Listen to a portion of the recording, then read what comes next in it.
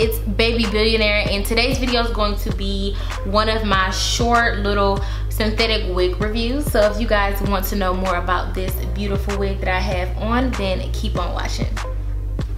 Alright guys, so for starters, I ordered this wig from samsbeauty.com. I will make sure I leave the exact price also on the screen here as well, just because I don't remember. I kind of did like a bulk order. I don't remember exactly how much I paid for this particular unit. So this is a um, lace part lace parting unit um, that you can just kind of like leave your edges out which is how I like to wear my wigs I just kind of take out my edges and usually I would start to maybe pluck this parting. Plucking the parting will make all the difference in your synthetic or any wig or closure period. But definitely in your synthetic wigs plucking that part takes them from looking synthetic to more natural-esque. But at the same time I'm not one of those people that I care too much about um, how I'm not gonna say how my wig looks because I care how my wig looks but it is kind of like I keep my synthetic wigs on for two to seven days maximum like I don't keep my synthetic wigs for four weeks on end I just I just don't because they synthetic because it's not real hair. so then secondly, just about the parting, it does have like the J parting that's underneath the cap here. And I would definitely recommend applying some concealer to your parting or plucking your parting. Um, doing some doing some manipulation to your um, synthetic lace can take your wig from looking basic to looking like it's a sew-in. So if you have the extra time, try to do that to your wig. Me personally, I don't care to do it because I keep my synthetic wigs on for two or three days and I'm gonna be cute regardless. So it is what it is. So with that being said, um, the texture of this hair is more of a yaki texture. Now when you first get it out of the packaging, it will feel more like a silky press texture, which I prefer. But after wearing it for a few days, I guess just the wear and tear, the silicone will dry off of the hair and it'll be more of this just kind of like a natural yaki texture. I do wish that the wig would kind of stay a little bit more fine, but it definitely does help it to look a lot more natural. Now, as far as length goes, this wig is probably about a 20, 22 maybe inch wig um, and I really love it for that just because I can wear it like if I know I'm not gonna be able to get my hair done if I want to go on like a date night or if I just want to do something a little bit more I don't know festive I guess um, and I need my hair done I know I can count on this wig to come through and look like a sew-in. That's what I love about it um, and from the back, the length is a little bit more.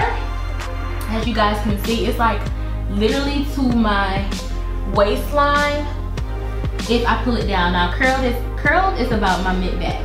But if I pull it down, it's about right here.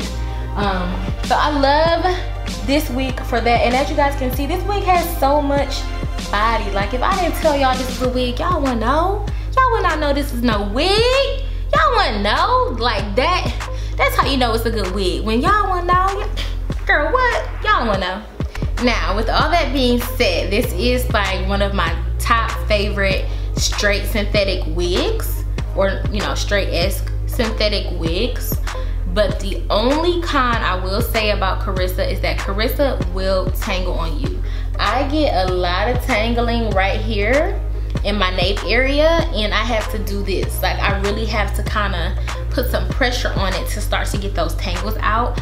As you know, that's kind of expected with um, synthetic hair because it's not real hair. So we can't expect everything in the world from a $30 synthetic unit versus 500 raw virgin hair. So, you know, that just kind of is what it is, but definitely something that I thought that I would share with you guys because this is not one of those wigs that you're gonna be able to wear for three weeks, four weeks. I don't think so. Um, I guess as the wig gets older and older, you might can get a good two, a hard three out of it. And that's if you really, really are taking really, really good care of your wig and cutting the ends as they're getting nappy. Just because, like I said earlier, the texture on this hair does just change over time. And I'm usually pretty gentle on my wigs, just period.